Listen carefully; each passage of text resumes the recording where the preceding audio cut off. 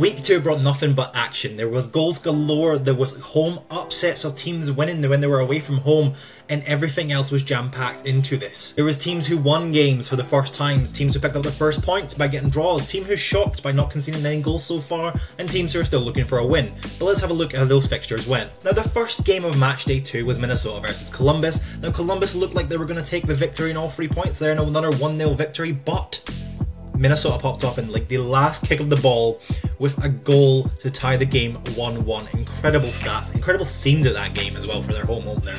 Real Salt Lake was stop and start against LAFC, then the game eventually got underway, but LAFC were very upset in their snowball, what we will call that, because that pitch was completely white. Lloris could do it in a wet and windy night at Stoke, but he cannot do it in a wet and snowy day in Salt Lake, because Salt Lake won 3-0. Inter Miami, well, where do we even start with this game? Inter Miami versus Orlando, they won 5-0, Suarez found his feet Messi got two goals, and honestly, this was just a complete run out.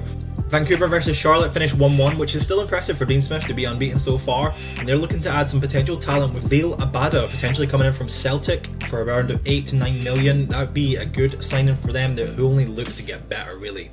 Cincinnati were the first upset away from home as they won 2-1 against Chicago, which we expected but Miles Robinson got his first goal in that game. The other upset was Montreal. Josef Martinez scored against Dallas Dallas scored, and it was Petar Musa who scored their goal, but they got beat 2 1. Philadelphia against Sporting Kansas. Philadelphia somehow managed to get a late equaliser once again in this game to tie the game 1. Louis versus New York City is kind of what we expect. St. Louis put on a performance always at home and they're very strong at home. They are the team with a home fortress, I would say. They have the best home record potentially in the last two seasons so far. If you look at last season, how well they performed at the start of the season, then now they're continuing that form. But New York City, we expect that from them.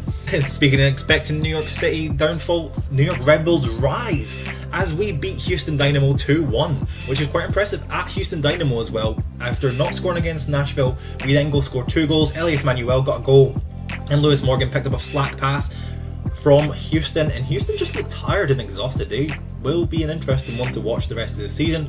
But Lewis Morgan's back on the score sheet, back in the team from his injury from last season, and scores an outstanding goal to give Red Bulls a 2 1 victory.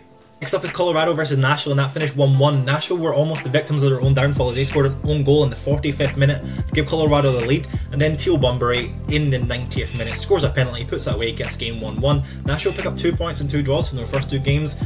Still missing Hany Mukhtar and Sam Surridge and some uh, key players in their team, but they will get there soon. Seattle against Austin. Now you'd expect Seattle to walk all over Austin, but this game finished nil-nil. LA Galaxy versus San Jose, and LA Galaxy won 3-1 in this game. Now they are going to be dangerous. Someone said in one of their, a, a reply to my comment, saying that Galaxy won't make the playoffs until 2027. That is completely wrong. LA Galaxy will make the playoffs this season. They're looking strong, looking good. They will click eventually, and they'll just be running riot, finish top, maybe five in the Western. Portland versus DC was the game we will talk about a bit later, but that one finished 2-2. Toronto somehow not conceding a goal two games in win over New England 1 0. New England still looking for their first victory after losing two games on the Barons 3 1 to DC, now 1 0 to Toronto. Sean Johnson with two clean sheets is looking to be the MVP of this weekend. Now, before we break down our games that we highlighted last week, we're going to show you where Guess the Ball is. Now, the games that we would like to highlight from this weekend start off with Real Salt Lake versus LAFC. Now this game took a while to get started, originally it was delayed because of severe weather warnings, kicked off for a little bit, then delayed again because there apparently was thunder in there, and by the time the game ended the whole pitch was covered in white and they bring out the orange ball. Now, this really affected LAFC, as Real Salt Lake capitalised, scored in the 18th minute, the 41st minute, then Cristian Arango, ex-LAFC player, scored to come back to haunt them to score in the 45 plus 5 minutes. 3-0 by half time, game's kind of done. LAFC looked to muster a comeback but just couldn't really get it done. And then in the 85th minute, Real Salt Lake got a player sent off, which was quite interesting. But it didn't really affect too much of the game. The game was already gone, the spirits were down, and Real Salt Lake picked up a really important home victory against LAFC. Now let's break down the stats though. So now we start off with shots 12 to Real Salt Lake, 16 to LAFC. 6 on target for Real Salt Lake, 6 on target for LAFC. I say this last week and this week now if teams could just be more clinical in front, in front of goals or get better chances, it completely throws out what happens in a game. Because six shots on target from each team, one team scores three, one team doesn't score any. How is that even possible? But that is what happens in possessions. Real Salt Lake kind of capitalised when the snow and taking the lead early on. They had 60% possession. LAFC had 40. One stat I'd like to bring your attention to though is the passes. Real Salt Lake had 419, whereas LAFC had 270. The weather conditions definitely did not suit LAFC's style of play, but it really suited Real Salt Lake, and that's why they got the victory 3 0 in this game. Now, our next game is, of course, we have to talk about this. One, it was a derby, and two, it finished 5 0. There's absolutely no way we could not talk about this game, and this was Inter Miami versus Orlando. This game started fast and furious with Suarez scoring in the 4th minute by getting his brace in the 11th minute, then Robert Taylor putting Inter Miami 3 0 up in the 20th, 9th minute. Halftime could not come quick enough for Orlando at that time. They looked to like strike back. They bring their star player on, Muriel from Atla- Atalanta. Looked to bounce back pretty strongly. They got a goal right after halftime, about 46 minutes, maybe 45 in seconds minute.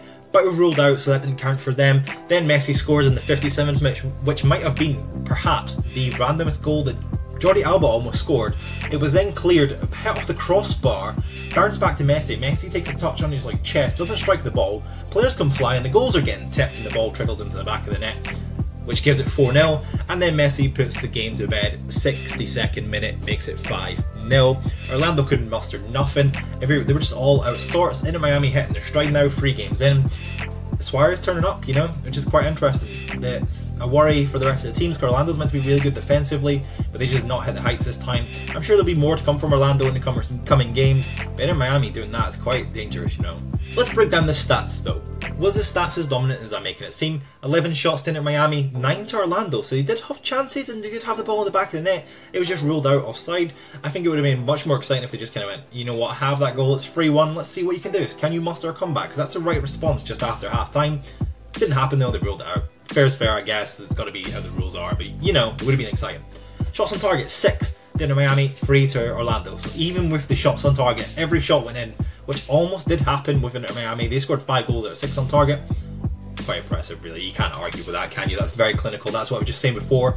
The team's clinical, has better chances. It's six. Uh, it's five goals out of six shots. That's that's what happens. Orlando had three attempts on goal. Drake Callender pulled off great saves. Just was very strong in goals. Not really getting through him. He's kept a clean sheet. Once again, he has two clean sheets in three games. He's rivaling Sean Johnson there, which is quite interesting to see who will be the battle of the goalkeepers this season. They're looking strong contenders so far. Possession, though, Orlando did have more of the possession, but Inter Miami were just more deadly with it, more clinical, and better uses of the possession. Inter Miami had 47% possession, Orlando had 53%. Passes, I don't really throw this in here as much, but I am focusing on passes so much here right now. But Inter Miami had 461 passes, where Orlando had 481 passes. Sorry, not even 80, 91 passes. 10, like 30 more passes in it Miami, but got beat 5 0. Probably those extra passes came from taking centre so many times. Like you take maybe, well, think about it, five centres is five passes. You pass the ball to someone else, then pass it to someone else. Maybe you're taking three passes from a kickoff. That's 15. I'm just saying it kind of adds up in there. And that makes sense why they're having so much ball, like ball possession ball passes. Now the final game that I want to pinpoint is Portland versus DC. Again, a gunner thriller that we could not not talk about if that makes sense. We had to talk about this game. Portland won 4-1 in their opening game, DC won 3-1. What's going to happen in this game? 2-2 draw. Outstanding. That's what you want if you're neutral. It's action, there's goals, everything happens, everything combines nicely. In the 18th minute, Portland took the lead. In the 61st minute, Portland add their lead 2 0. Then Mateusz Klich pops up in the 72nd minute with a penalty 2 1. Game on, game on, comebacks there. Can DC do it? Of course they did. I already told you the game finished 2 1. 82nd minute, Kristian Fletcher pops up 2 2, the game finished. Now, this is without DC's leading man, Benteke. He did not travel, he did not play in the game. It would have been if he did play in this game. After a hat trick he scored and hit in fine form, he didn't play in this game. Didn't really travel well, but DC still picked up the point, which is what I was interested in from last week's video to see if they actually do travel well. And they done more than well, done actually standard if you don't if you can pick up points away from home, that's what you want. It's really good, push on good course to be a building better season what you have in the last couple of seasons, DC. You're on the right track, in my opinion. Back to this game, though. How did it happen? 10 shots to Portland, 12 to DC. Three shots on target for Portland, that's correct, three, and they scored two. How many shots on target did DC have? Was it two? Was it one? Was it four? Was it five? No, it was eight. Eight shots on target, and they only scored two. They had chances, and if Benteke was there to put those chances away, this game could have been 5, 6, 4, 2 maybe. Portland really only could have scored three goals on target. like free shots on target. Maximum could have scored three goals from that. DC could have scored eight. Imagine an 8-3 if Benteke was there. And he would run away with a like golden boot, but now Suarez is in contention again, so we got to be uh, Eh, careful about that one. That he's stepped up his game. Messi's also in contention again, two goals. He's got a couple assists as well. It's going to be very hard to pinpoint who actually will be the golden boot until maybe like game five or something like that when teams actually start to settle and push away from it.